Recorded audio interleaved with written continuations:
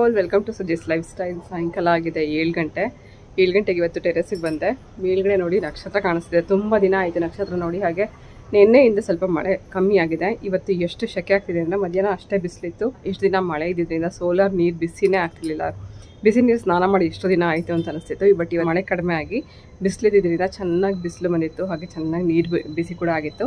ಅಷ್ಟೇ ಇವಾಗ ಶೆಕೆ ಆಗ್ತಾ ಇಷ್ಟು ದಿನ ಚಳಿ ಆಗ್ತಿತ್ತು ಮಳೆ ಅಂತ, ಬಟ್ ಇವಾಗ ಶೆಕೆ ಆಗ್ತಿದೆ. ಮನುಷ್ಯರಿಗೆ ಹೆಂಗಿದ್ರು ಕಷ್ಟ ಅಂತ ಅನ್ನೋಂಗೆ ಆಯ್ತಲ್ಲ. ನಾವು ಹೇಳಿದ್ದನ್ನು ಕೇಳಿ. ಸೊ ಸಾಯಂಕಾಲ ಇವತ್ತು ಟೆರೆಸಿಗೆ ಬಂದಿರೋ ರೀಸನ್ ಏನಂದರೆ ಬಟ್ಟೆ ಎಲ್ಲ ಒಣಗಿ ಹಾಕಿದೆ ವೈಟ್ ಎಲ್ಲ ಒಂದ್ಸತಿ ಹಾಕಿದೆ ಅದನ್ನೆಲ್ಲ ಮಡಿಸ್ಬಿಟ್ಟು ತೊಗೊಂಡು ಹೋಗಬೇಕು. ಮಿಂಚ್ತಾ ಇದೆ ಆ ಕಡೆಗೆ. ದೊಡ್ಡವ್ರು ಹೇಳ್ತಾರೆ, ನಕ್ಷತ್ರ ಕಾಣಿಸಿದ್ರೆ ಮಳೆ ಬರಲ್ಲ ಅಂತ. ಬಟ್ ನೋಡಬೇಕು ಕೆಲವು ಸತಿ ಯಾವಾಗ ಯಾವಾಗ, ಹೆಂಗೆ ಹೆಂಗಾಗುತ್ತೆ ಅಂತ. ಹೇಳೋಕ್ಕಾಗಲ್ಲ ಪ್ರಕೃತಿ ಮಾತೆ ಯಾವಾಗ ಏನು ಮಾಡುತ್ತೆ ಅಂತ ಮುನ್ಸೂಚನೆಯೂ ಕೊಡಲ್ಲ. ನೋಡಬೇಕು ಮಳೆ ಬರುತ್ತಾ ಇಲ್ವಾ ಅಂತ. ಸದ್ಯಕ್ಕೆ ಇವಾಗ ಬಟ್ಟೆ ಖಾಲಿ ಖಾಲಿ ಆದರೆ ಸಾಕು ಅಂತ ಅನಿಸ್ತಿದೆ.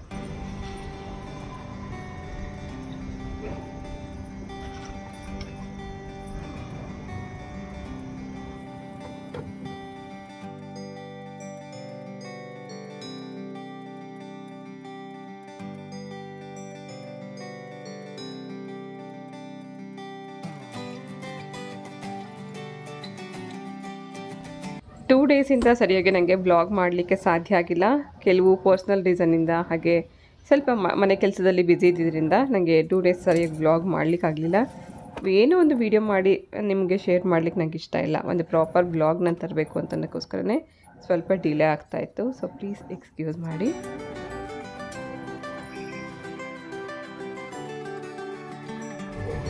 ಬಿಳಿ ಬಟ್ಟೆಗಳನ್ನು ಒಗೆಯೋದಕ್ಕೆ ಆದಷ್ಟು ನಾವು ಸಪ್ರೇಟಾಗೇ ನೆನೆಸ್ಬೇಕು ಸಪ್ರೇಟಾಗೇ ವಾಶ್ ಮಾಡಬೇಕು. ನಾನು ಸಾಧ್ಯ ಆದಷ್ಟು ಈ ರೀತಿ ಬಿಳಿ ಬಟ್ಟೆಗಳನ್ನ ಸಪ್ರೇಟಾಗಿ ವಾಶ್ ಮಾಡ್ತೀನಿ. ಸೊ ಬಿಳಿ ಬಟ್ಟೆಗಳನ್ನ ಒಗೆಯುವಂಥ ಟೈಮಲ್ಲಿ ನಾವು ವಾಷಿಂಗ್ ಮಿಷಿನ್ ಹಾಕೋದಿದ್ರೆ ಅರ್ಧ ಗಂಟೆ ಅಟ್ಲೀಸ್ಟ್ ಬಿಸಿ ನೀರಲ್ಲಿ ಅಥವಾ ಸ್ವಲ್ಪ ಬೆಚ್ಚಗಿರೋ ನೀರಲ್ಲಿ ಸೋಪಿನ ಪುಡಿ ಮತ್ತು ಸೋಡಾ ವಾಷಿಂಗ್ ಸೋಡಾ ಅಂತಲೇ ಸಿಗುತ್ತೆ ನಮಗೆ. ವಾಷಿಂಗ್ ಸೋಡಾ ಹಾಕಿ ನೆನೆಸಿಟ್ಬಿಟ್ಟು ನಂತರ ವಾಷಿಂಗ್ ಮಿಷಿನ್ ಹಾಕ್ಬೋದು. ಕೈಯಲ್ಲಿ ಒಗೆಯೋದಾದ್ರೂ ಹಾಗೇನೆ. ಸೋಡಾ ಜೊತೆಗೆ ಹಾಕಿ ನೆನೆಸಿಟ್ಬಿಟ್ಟು ನಂತರ ವಾಶ್ ಮಾಡಿದ್ರೆ ಇದರಲ್ಲಿ ಬೆಳ್ಳು ಕೂಡ ಆಗುತ್ತೆ. ಜೊತೆಗೆ ಕೊಳೆ ಬೇಗ ಹೋಗುತ್ತೆ. ಹಾಗೆ ಚೆನ್ನಾಗಿ ಇನ್ನೂ ಬೆಳ್ಳಗೆ ಕಾಣಿಸುತ್ತೆ. ಸೊ ಈ ಥರ ಯಾವುದೇ ಬಿಳಿ ಬಟ್ಟೆಗಳನ್ನ ಒಗೆಯುವಾಗ ನೀವು ಸಪ್ರೇಟಾಗಿ ನೆನೆಸಿ ಸಪ್ರೇಟಾಗಿ ವಾಶ್ ಮಾಡಿದ್ರೆ ಬೆಳ್ಳಗಿರುತ್ತೆ ಈಗ ತಾನೇ ನಾನು ಹೇಳಿದೆ ನಕ್ಷತ್ರ ಇದೆ, ಮಳೆ ಯಾವ ಟೈಮಲ್ಲಿ ಬರುತ್ತೆ ಗೊತ್ತಿಲ್ಲ, ಹೇಳೋಕ್ಕಾಗಲ್ಲ ಅಂತ. ಸೊ ಒಂದು ಕಡೆ ನಕ್ಷತ್ರ ಕಾಣಿಸ್ತಾ ಇದೆ, ಈಗಾಗಲೇ ಆಲ್ರೆಡಿ ಮಳೆ ಶುರು ಆಯಿತು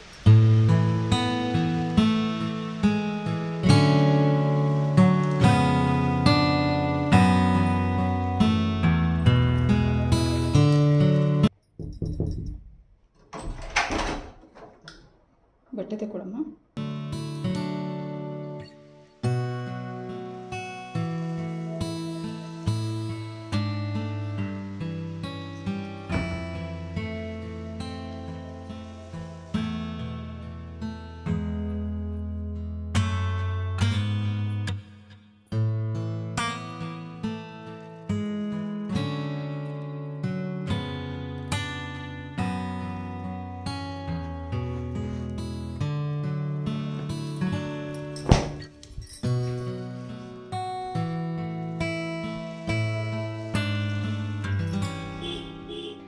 ಯೂಟ್ಯೂಬ್ನ ಪ್ರೊಫೆಷನ್ ಅಂತ ಸೆಲೆಕ್ಟ್ ಮಾಡ್ಕೊಂಡ್ಮೇಲೆ ಪ್ರತಿದಿನ ನಾವು ಅದಕ್ಕೋಸ್ಕರನೇ ಕೆಲಸ ಮಾಡ್ತಿರ್ತೀವಿ. ಮನೆಯಲ್ಲಿ ಯಾವುದೇ ಕೆಲಸ ಮಾಡುವಾಗಲೂ ಒಂದು ಒಳ್ಳೆ ಸೀನ್ ಇದೆ ಅಥವಾ ಒಂದು ಒಳ್ಳೆ ನೇಚರ್ ಕಾಣಿಸ್ತದೆ ಅಥವಾ ಏನೇ ಒಂದು ಒಳ್ಳೆ ರೆಸಿಪಿ ಮಾಡ್ತಾ ಇದ್ದೀನಿ ಅಂತಂದರೆ ನಾನು ಅದನ್ನು ಖುಷಿಯಿಂದ ಶೇರ್ ಮಾಡಲಿಕ್ಕೆ ಇಷ್ಟಪಡ್ತೀನಿ.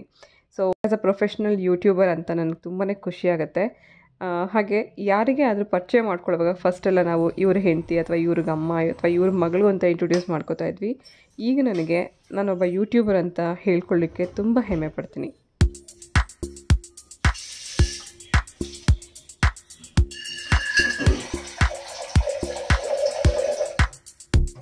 ಹಾಯ್ ಆಲ್ ಗುಡ್ ಮಾರ್ನಿಂಗ್ ಬಿಸಿ ನೀರು ಇಟ್ಟಿದ್ದೀನಿ ಕುಡಿಲಿಕ್ಕೆ ಕೆಟಲ್ ಇದ್ದಿದ್ದು ಮನೆಯಲ್ಲಿ ಅಮ್ಮಂಗೋಸ್ಕರ ಕೊಟ್ಬಿಟ್ಟಿದ್ದೀನಿ. ಅವ್ರಿಗೆ ಮನೆ ಹುಷಾರ್ ತಪ್ಪಿದ್ದರಿಂದ ಆ ಕೆಟಲ್ನ ಅವ್ರಿಗೆ ತೊಗೊಂಡು ಕೊಟ್ಟು ಈಗ ಸದ್ಯಕ್ಕೆ ನನ್ನ ಹತ್ರ ಕೆಟಲ್ ಇಲ್ಲ ಹಾಗಾಗಿ ಪಾತ್ರನೆಲ್ಲ ನೀರು ಬಿಸಿಗಿಟ್ಟಿದ್ದೀನಿ ಒನ್ ಹಾರಲ್ಲಿ ತಿಂಡಿ ಮತ್ತು ಅಡುಗೆ ಎರಡೂ ಕೂಡ ರೆಡಿ ಮಾಡಬೇಕು.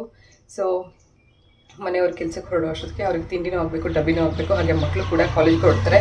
ಎಂಟೂವರೆಗೆ ಎಲ್ಲರೂ ಹೊರಡ್ತಾರೆ. ಈಗಾಗಿದೆ ಸಮಯ ಏಳು ಗಂಟೆ. ಇದು ಫಿಫ್ಟೀನ್ ಮಿನಿಟ್ಸ್ ನಾನು ಫಾಸ್ಟ್ ಇಟ್ಟಿದ್ದೀನಿ so fifteen minutes at least ನನಗೆ ಆ ಟೈಮ್ ನಾನು ಈ ಟೈಮ್ನ ಕರೆಕ್ಟ್ ಟೈಮ್ ಅಂತ ಫಾಲೋ ಮಾಡ್ತಾ ಇರ್ತೀನಿ. ಈ ಒಂದು ಪಡವಕಾಯಿಂದಾನೆ ತಿಂಡಿ ಮತ್ತು ಅಡುಗೆ ಎರಡು ಕೂಡ ಮಾಡಬೇಕು ಅಂತ ಅಂದ್ಕೊಂಡಿದ್ದೀನಿ ಇದು ತುಂಬ ದೊಡ್ಡದಿದೆ. ಒಂದು ಕೆ ಜಿ ಮೇಲಿದೆ. ಇದರಿಂದ ಅರ್ಧ ಪಲ್ಯ, ಅರ್ಧ ಸಾಂಬಾರು ಮಾಡ್ತಾ ಇದ್ದೀನಿ. ತಿಂಡಿಗೋಸ್ಕರ ಚಪಾತಿ ಮತ್ತು ಪಲ್ಯ, ಹಾಗೆ ಸಾಂಬಾರಿಗೋಸ್ಕರ ಇದರಿಂದ ಮತ್ತು ಇದು ಪಡವಲಕಾಯಿ ಮತ್ತು ಅವರೆಬೇಳೆ ಹಾಕಿ ಪರ್ಕ್ ಮಾಡಬೇಕು ಅಂತ ಅಂದ್ಕೊಂಡಿದ್ದೀನಿ ಸೊ ಅನ್ನ, ಸಾರು, ಚಪಾತಿ, ಪಲ್ಯ ಇದಿಷ್ಟು ಕೂಡ ಒನ್ ಹಾರಲ್ಲಿ ಆಗುತ್ತಾ ಅಂತ ನೋಡೋಣ. ರಾತ್ರಿನೇ ಕಿಚನ್ ಎಲ್ಲ ಪೂರ್ತಿಯಾಗಿ ಕ್ಲೀನ್ ಮಾಡಿದ್ದೆ. ಈಗ ಸದ್ಯಕ್ಕೆ ಸ್ಲಾಬ್ ಮೇಲೆ ಏನೂ ಇಲ್ಲ. ಒಂದು ಗ್ಲಾಸ್ ಬಿಸಿನೀರು ಇಟ್ಕೊಂಡಿದ್ದೀನಿ ಹಾಗಾಗಿ ಅದೊಂದು ಪಡೋದು ಕೈ ಇದೆ.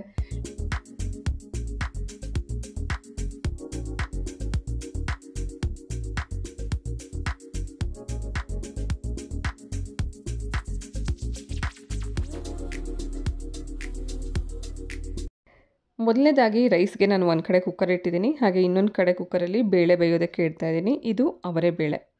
ಅವರೇ ಬೇಳೆ ಮತ್ತು ಪಡೋದಕಾಯಿ ಕಾಂಬಿನೇಷನಲ್ಲಿ ಮಾಡುವಂಥ ಸಾಂಬಾರಿದು ಇದಕ್ಕೆ ಪರ್ಪ್ ಅಂತಲೇ ಹೇಳ್ತಾರೆ. ಸೊ ಪಡೋದಕಾಯಿ ತಿನ್ನಲ್ಲ ಅಂತನವರು ಹೀರೆಕಾಯಿನ ಕೂಡ ಬಳಸ್ಕೋಬೋದು.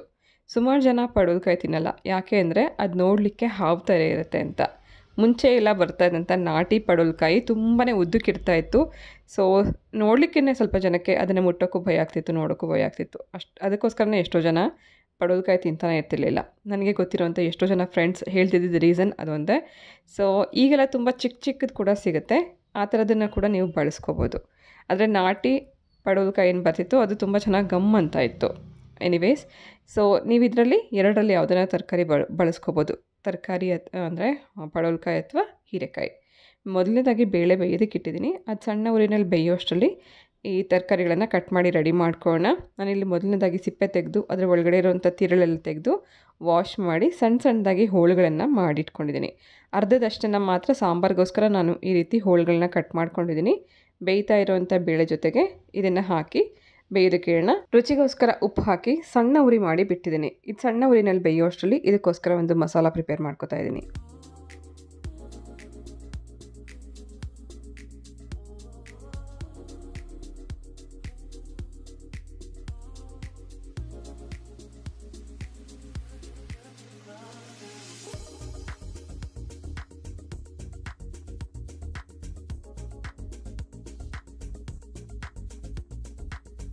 ಹಸ್ಬೆಂಡ್ ಆಗಲೇ ಎದ್ದಿದ್ದಾಗಿತ್ತು. ಹಾಗಾಗಿ ಯಾವ್ದು ಬೇಗ ಬೇಗ ಮುಗಿಯುತ್ತೆ ಆ ಕೆಲಸ ನಾನು ಇಲ್ಲಿ ಕಂಪ್ಲೀಟ್ ಮಾಡ್ತಾ ಇದ್ದೀನಿ. ಸಾಂಬಾರಿಗೆ ಮಸಾಲ ರೆಡಿ ಮಾಡ್ಕೊತಾನೆ. ಪಲ್ಯಕ್ಕೂ ಕೂಡ ಇಲ್ಲಿ ಕಟಿಂಗ್ ಮಾಡ್ಕೊತಾ ಇದ್ದೀನಿ. ಈ ಚಾಪರ್ನ ನಾನು ಇವತ್ತು ಯೂಸ್ ಮಾಡಿಕೊಂಡೆ. ಯಾವಾಗ ಟೈಮ್ ಇಲ್ಲ ಅಂತ ಅನಿಸುತ್ತೆ. ಸೊ ಅಂಥ ಟೈಮಲ್ಲಿ ನಾನು ಈ ಚಾಪರ್ನ ಯೂಸ್ ಮಾಡ್ತೀನಿ. ಇದು ಎಲೆಕ್ಟ್ರಿಕ್ ಚಾಪರ್ ನಾನು ಇದನ್ನು ತೊಗೊಂಡಾಗಲೇ ಮೂರು ವರ್ಷದ ಮೇಲಾಯಿತು. ತುಂಬಾ ಚೆನ್ನಾಗಿ ಈ ಚಾಪಿಂಗಿಗೆ ಯೂಸ್ ಆಗುತ್ತೆ. ಹಾಗೆ ಇದರಲ್ಲಿ ಮೂರು ಈರುಳ್ಳಿಯನ್ನು ಸಣ್ಣದಾಗಿ ಕಟ್ ಮಾಡ್ಕೋತಾ ಇದ್ದೀನಿ. ಇದು ಪಲ್ಯಕ್ಕೋಸ್ಕರ ಹಾಗೆ ಅನ್ನದ ಕುಕ್ಕರ್ನ ಬ್ಯಾಕ್ ಸೈಡಲ್ಲಿರುವಂಥ ಬರ್ನರ್ಲಿಟ್ಟು ಮುಂದೆಗಡೆ ದೊಡ್ಡ ಬರ್ನರ್ ಮೇಲೆ ಬೇಗ ಆಗಲಿನಕ್ಕೋಸ್ಕರ ಬಾಣಲಿ ಇಟ್ಕೊಂಡಿದ್ದೀನಿ.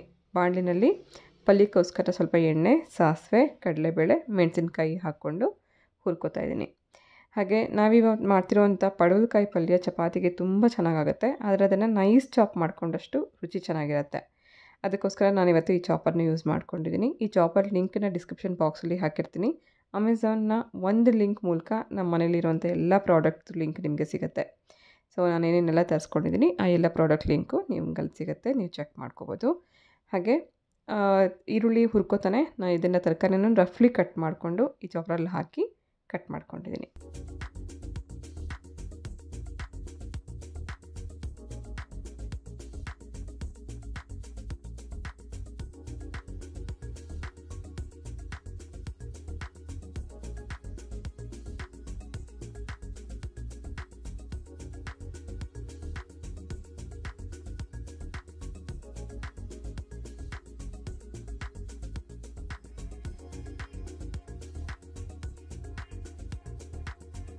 ಈರುಳ್ಳಿ ಚೆನ್ನಾಗಿ ಟ್ರಾನ್ಸ್ಪರೆಂಟ್ ಆಗಿದೆ ಅಂತ ಗೊತ್ತಾದ ನಂತರ ಕಟ್ ಮಾಡಿ ಇಟ್ಕೊಂಡಿರುವಂಥ ಪಡೋದಕಾಯಿ ಹಾಕಿದ್ದೀನಿ. ಅದ್ರ ಜೊತೆಗೆ ಸ್ವಲ್ಪ ಅರಿಶಿನ ಉಪ್ಪು ಹಾಕಿ ಒಂದೆರಡು ನಿಮಿಷ ಇದನ್ನು ಹುರ್ಕೋಬೇಕು. ಸಣ್ಣ ಕಟ್ ಮಾಡಿರೋದ್ರಿಂದ ಬೇಗನೆ ಬೆಂದು ರೆಡಿ ಆಗೋಗುತ್ತೆ. ಮುಚ್ಚಿಟ್ಬೇಡ ಸೊ ಹಬೆನಲ್ಲಿ ಬೇಯಿಸ್ಕೊಳ್ಳೋದ್ರಿಂದ ಚೆನ್ನಾಗಿ ಬೇಗನೆ ಬೆಂದು ಹೋಗುತ್ತೆ. ಹಾಗೆ ನಾನಿವಾಗ ಯೂಸ್ ಮಾಡಿರುವಂಥ ಚಾಪರ್ನ ಮೇಲ್ಗಡೆ ಭಾಗದಲ್ಲಿ ಇರುವಂಥದ್ದು ಇದು ಮೋಟರ್ ಇದನ್ನೇ ಯಾವುದೇ ಕಾರಣಕ್ಕೂ ನಾವು ವಾಶ್ ಮಾಡಬಾರ್ದು. ನಾವೇನು ತರಕಾರಿ ಕಟ್ ಮಾಡಲಿಕ್ಕೆ ಬಳಸಿದ್ವಿ, ಬೌಲ್ ಅದನ್ನು ಮಾತ್ರ ಬ್ಲೇಡ್ ಮತ್ತು ಬೌಲ್ನ ಮಾತ್ರ ವಾಶ್ ಮಾಡಬೇಕು. ಇದೇ ಮೇಯ್ನ್ ನಮಗೆ ಮೋಟರ್ ಕೆಲಸಕ್ಕೆ ಬರುವಂಥದ್ದು ಸೊ ಇನ್ ಬಿಟ್ವೀನ್ ನಾನು ಮಿಕ್ಸಿ ಜಾರಲ್ಲಿ ಕಾಯಿನೂ ಕೂಡ ಗ್ರೈಂಡ್ ಮಾಡ್ಕೊಂಡಿದ್ದೀನಿ. ನೀರೆಲ್ಲ ಹಾಕ್ಕೊಳ್ದೆ ಗ್ರೈಂಡ್ ಮಾಡಿಕೊಂಡ್ರೆ ನಮಗೆ ಕಾಯಿ ತುರಿದಾಗ ಹೇಗಿರುತ್ತೆ, ಆ ಥರ ತುರಿ ನಮಗೆ ರೆಡಿ ಆಗುತ್ತೆ. ಲಾಸ್ಟಲ್ಲಿ ಪಲ್ಯ ಇಲ್ಲ ಫಿನಿಶ್ ಆಗೋವಂಥ ಟೈಮಲ್ಲಿ ಲಾಸ್ಟಲ್ಲಿ ಇದಕ್ಕೆ ಕೊತ್ತಂಬರಿ ಸೊಪ್ಪು ಮತ್ತು ತೆಂಗಿನ ತುರಿ ಹಾಕಿ ಸ್ಟವ್ ಆಫ್ ಮಾಡಿದ್ದೀನಿ. ಅಷ್ಟೇ. Within a three to four ಮಿನಿಟ್ಸಲ್ಲಿ ನಮಗೆ ಈ ಈ ಪಲ್ಯ ರೆಡಿ ಆಗುತ್ತೆ. ಆದಷ್ಟು ನಾವು ಸಣ್ಣ ಕಟ್ ಮಾಡಿಕೊಂಡ್ರೆ ಬೇಗನೆ ಬೆಂದು ರೆಡಿ ಆಗುತ್ತೆ. ಸೊ ಖಂಡಿತ ನೀವು ಟ್ರೈ ಮಾಡಿ. ಪಲ್ಯ ರೆಡಿ ಮಾಡ್ಕೊಂಡಂತ ಮಸಾಲೆಗೋಸ್ಕರ ಇಲ್ಲಿ ಸುಮಾರು ಒಂದು ಅರ್ಧ ಹೋಳಷ್ಟು ತೆಂಗಿನ ತುರಿ ಇದೆ. ಇದ್ರ ಜೊತೆಗೆ ಒಂದೂವರೆ ಟೀ ಸ್ಪೂನಷ್ಟು ಗಸಗಸೆ ಒನ್ ಟೀ ಸ್ಪೂನಷ್ಟು ಕಾಳುಮೆಣಸು ಒಂದು ಗಡ್ಡೆಯಷ್ಟು ಬೆಳ್ಳುಳ್ಳಿ, ಖಾರಕ್ಕೋಸ್ಕರ ಒನ್ ಟೀ ಸ್ಪೂನಷ್ಟು ರೆಡ್ ಚಿಲ್ಲಿ ಪೌಡರ್ ಅರ್ಧ ಟೀ ಸ್ಪೂನಷ್ಟು ಕಾಶ್ಮೀರಿ ರೆಡ್ ಚಿಲ್ಲಿ ಪೌಡರ್ ಹಾಕ್ಕೊಂಡಿದ್ದೀನಿ ಇದ್ರ ಜೊತೆಗೆ ಸ್ವಲ್ಪ ಕೊತ್ತಂಬರಿ ಸೊಪ್ಪು, ಸ್ವಲ್ಪ ನೀರು ಹಾಕಿ ಗ್ರೈಂಡ್ ಮಾಡಿಕೊಂಡ್ರೆ ಇದರ ಮಸಾಲ ರೆಡಿ ಆಗುತ್ತೆ. ಸೊ ನಾವಿಲ್ಲಿ ಮೆಣಸು ಮತ್ತು ಅಚ್ಕಾರದ ಪುಡಿ ಎರಡೂ ಉಪಯೋಗಿಸ್ಕೊಂಡಿರ್ತೀವಿ. ಸ್ವಲ್ಪ ಸ್ಪೈಸಿಯಾಗಿರುತ್ತೆ ಟೇಸ್ಟ್ ಚೆನ್ನಾಗಿ ಬರುತ್ತೆ. ಸೊ ಇದು ನಮ್ಮ ಅಜ್ಜಿ ಮನೆ ಸಾರು. ಅಂದರೆ ಅಮ್ಮನ ಅಮ್ಮ ಮಾಡ್ತಾ ಇದ್ದಂಥ ಸಾಂಬಾರು ಇದು. ನಮ್ಮ ತಾತಂಗೆ ತುಂಬ ಇಷ್ಟ ಆಗ್ತಿತ್ತು. ಹಾಗೆ ಇದನ್ನು ಅಮ್ಮ ಕಲ್ತ್ಕೊಂಡಿದ್ರು. ಅಮ್ಮ ನನಗೆ ಹೇಳ್ಕೊಟ್ಟಿದ್ದಾರೆ. ಇವತ್ತು ನಾನು ನಿಮಗೆ ಹೇಳ್ಕೊಟ್ಟಿದ್ದೀನಿ ನೀವೆಲ್ಲರೂ ಒಂದ್ಸತಿ ಟ್ರೈ ಮಾಡಿ ಮಾಡಿದ ಮೇಲೆ ಹೇಗಿತ್ತು ಅಂತ ಕಮೆಂಟ್ ಮಾಡಿ ತಿಳಿಸಿ. ಇದಕ್ಕೆ ಮುಖ್ಯವಾಗಿ ಏನಂದರೆ, ಒಂದು ಬಿಸಿಲ್ ಕೂಗಿಸಿ ಸ್ಟವ್ ಆಫ್ ಮಾಡಿದ್ಮೇಲೆ ತಣ್ಣಗಾದ ಮೇಲೆ ಒಂದು ಗ್ಲಾಸ್ ಹಾಲನ್ನ ಕಾಯಿಸಿ ಹಾಕಬೇಕು ಅಂತ ಹೇಳ್ತಾರೆ. ಹಾಲು ಹಾಕೋದ್ರಿಂದನೇ ರುಚಿ ಚೆನ್ನಾಗಿ ಬರುತ್ತಂತೆ. ಸೊ ನನಗೆ ಪರ್ಸ್ನಲಿ ಹಾಲು ಇಷ್ಟ ಆಗಲ್ಲ. ಇದಕ್ಕೋಸ್ಕರ ಇಲ್ಲಿ ಹಾಲು ಉಪಯೋಗಿಸಿಲ್ಲ. ನಿಮಗೆ ಬೇಕಿದ್ರೆ ಸಾಂಬಾರೆಲ್ಲ ಮಾಡಿ, ಸ್ಟವ್ ಆಫ್ ಮಾಡಿ, ಅದು ಸ್ವಲ್ಪ ತಣ್ಣಗಾದ್ಮೇಲೆ ಕಾಯಿಸಿರೋವಂಥ ಒಂದು ಗ್ಲಾಸಷ್ಟು ಹಾಲನ್ನು ನೀವು ಇದಕ್ಕೆ ಹಾಕ್ಕೋಬೋದು. ಇವತ್ತು ಸಿಕ್ಸ್ಟಿ ಮಿನಿಟ್ ಚಾಲೆಂಜ್ ತೊಗೊಂಡು ಅಷ್ಟರಲ್ಲಿ ನಾನು ತಿಂಡಿ ಅಡುಗೆ ಮಾಡಬೇಕು ಅಂತ ಅಂದ್ಕೊಂಡು ಇದ್ರ ಮಧ್ಯದಲ್ಲಿ ನಾನು ಕಾಫಿ ಟೀ ಮಾಡಲಿಕ್ಕೆ ಹೋಗಲಿಲ್ಲ. ಆದರೆ ಈಗ ಅಜ್ಜಿ ಬಂದಿದ್ದಾರೆ ಪಾತ್ರೆ ತೊಳಿಲಿಕ್ಕೆ. ಅಜ್ಜಿಗೆ ಬರ್ತಾ ಇದ್ದಂಗೆ ಫಸ್ಟು ಕಾಫಿ ಅಥವಾ ಟೀ ಕೊಟ್ಬಿಡಬೇಕು. ಸೊ, ಹಾಗಾಗಿ ಅಜ್ಜಿಗೋಸ್ಕರ ಕಾಫಿ ಮಾಡಿಕೊಡ್ಬೇಕು ಅಂತಲೇ ಹಾಲು ಕಾಯಲಿಕ್ಕೆ ಇಟ್ಟಿದ್ದೀನಿ ಹಾಗೆ ಇನ್ನೊಂದು ಕಡೆ ಗೋಧಿ ಹಿಟ್ಟು ಕೂಡ ಕಲಸಿದ್ದು ರೆಡಿಯಾಗಿದೆ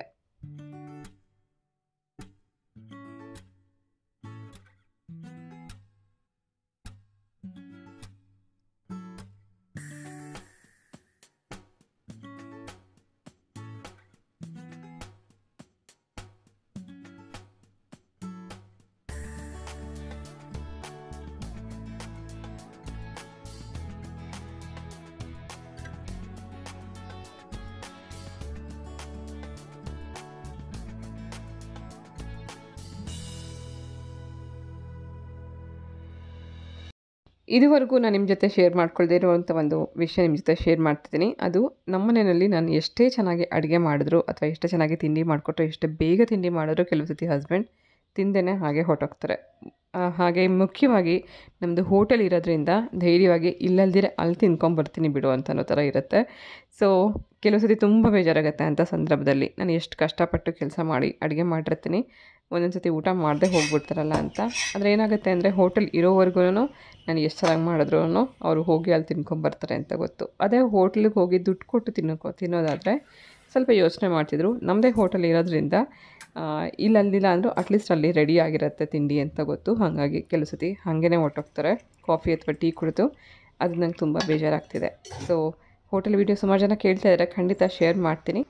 ಅಷ್ಟೇ ಅಲ್ಲ ಹೋಟ್ಲಲ್ಲಿ ಮಾಡೋವಂಥ ರೆಸಿಪೀಸ್ನ ಕೂಡ ವಾರಕ್ಕೊಂದು ಅಟ್ಲೀಸ್ಟ್ ನಿಮ್ಮ ಜೊತೆ ಶೇರ್ ಮಾಡಬೇಕು ಅಂತ ಒಂದು ಪ್ಲ್ಯಾನ್ ಇದೆ. ಸೊ ಪ್ಲೀಸ್ ಪ್ಲೀಸ್ ಪ್ಲೀಸ್ ಅಲ್ಲಿವರೆಗೂ ವೆಯ್ಟ್ ಮಾಡಿ.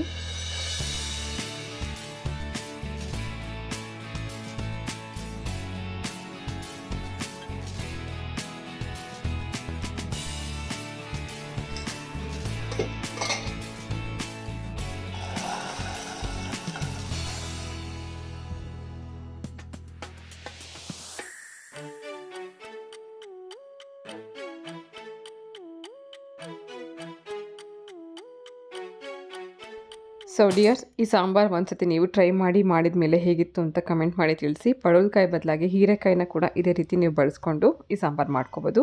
ನಾನಿವತ್ತು ಕುಕ್ಕರಲ್ಲಿ ಮಾಡಿದ ಹಾಗೆ ನೀವು ಡೈರೆಕ್ಟಾಗಿ ಪಾತ್ರೆಯಲ್ಲಿ ಕೂಡ ಮಾಡ್ಕೋಬೋದು. ಸೊ ಖಂಡಿತ ಟ್ರೈ ಮಾಡಿ. ಸಿಕ್ಸ್ಟಿ ಮಿನಿಟ್ ಚಾಲೆಂಜ್ ನಾನು ತೊಗೊಂಡು ಕುಕಿಂಗ್ ಮಾಡೋಕ್ಕೆ ಸ್ಟಾರ್ಟ್ ಮಾಡಿದೆ. ಸಿಕ್ಸ್ಟಿ ಮಿನಿಟಲ್ಲಿ ಕಂಪ್ಲೀಟ್ ಆಗ್ತಾ ಇದ್ದಿದ್ದು. ಮಧ್ಯದಲ್ಲಿ ಡಿಸ್ಟ್ರಾಕ್ಟ್ ಆಯಿತು. ಅಜ್ಜಿ ಬಂದರು, ಅಜ್ಜಿಗೆ ಕಾಫಿ ಮಾಡ್ಕೊಡ್ಬೇಕಾಯಿತು. ಹಾಗೆ ಮನೆಯವ್ರು ತಿಂಡಿಗೆ ಅರ್ಜೆಂಟ್ ಮಾಡಿದ್ರು. ತಿಂಡಿ ಮಾತ್ರ ತಿನ್ಕೊಂಡು ಹೋದರು. ಅಡುಗೆ ಆಗಿದೆ. ಬಟ್ ಮಧ್ಯಾಹ್ನಕ್ಕೆ ಊಟಕ್ಕೆ ಬರ್ತೀನಿ ಅಂತ ಹೇಳ್ಬಿಟ್ಟು ಹೋಗಿದ್ದಾರೆ. ಸ್ವಲ್ಪ ಸ್ವಲ್ಪ ಲೇಟ್ ಆಯಿತು. ಒಂದು ಹತ್ತು ನಿಮಿಷ ಲೇಟ್ ಆಯಿತು. ಫೈನಲಿ ಮಕ್ಕಳೆಲ್ಲ ಹೋದ್ಮೇಲೆ ಇವತ್ತಿನ ಬ್ಲಾಗ್ನ ಎಂಡ್ ಮಾಡ್ತಾ ಇದ್ದೀನಿ. ಇವತ್ತಿನ ಬ್ಲಾಗ್ ನಿಮಗೆ ಹೇಗೆ ಅನಿಸ್ತು ಅಂತ ನನಗೆ ಕಮೆಂಟ್ ಮಾಡಿ ತಿಳಿಸಿ. ಹೊಸಬ್ರು ಯಾರ ನೋಡ್ತಾ ಇದ್ರೆ ಪುಸ್ ಪುಸ್. ಪುಸ್ ಪುಸ್ ಬಾತ್ರೂಮ್ ಡೋರ್ನ ಅದಾಗ ಅದೇ ಓಪನ್ ಮಾಡ್ಕೊಂಡು ಆಚೆ ಹೋಗುತ್ತೆ. ಸೊ ಇವತ್ತಿನ ಈ ಬ್ಲಾಗ್ ನಿಮಗೆ ಹೇಗೆ ಅನಿಸ್ತು ಅಂತ ನನಗೆ ಕಮೆಂಟ್ ಮಾಡಿ ತಿಳಿಸಿ. ಹೊಸಬ್ರು ನೋಡ್ತಾ ಇದ್ರೆ ಪ್ಲೀಸ್ ನನ್ನ ಚಾನಲನ್ನು ಸಬ್ಸ್ಕ್ರೈಬ್ ಮಾಡ್ಕೊಂಡು ನೋಡಿ ಇವತ್ತಿನ ಈ ಬ್ಲಾಗ್ ಜೊತೆಗೆ ನಾನು ಹೊರಡ್ತಾ ಇದ್ದೀನಿ. ಮತ್ತೆ ಸಿಗ್ತೀನಿ ನಾಳೆ ಏನಾದರೂ ಇಂಟ್ರೆಸ್ಟಿಂಗ್ ಆಗಿರುತ್ತೆ ಮತ್ತೊಂದು ಬ್ಲಾಗ್ ಜೊತೆಗೆ. ಹೋಗಲ್ಲ ಟೀ ಇಟ್ಟಿದ್ದೀನಿ. ಟೀ ಕುಡಿದು ಸ್ವಲ್ಪ ಸುಧಾರಿಸ್ಕೊಂಡು ಮತ್ತೆ ಕ್ಲೀನಿಂಗ್ ಕೆಲಸ.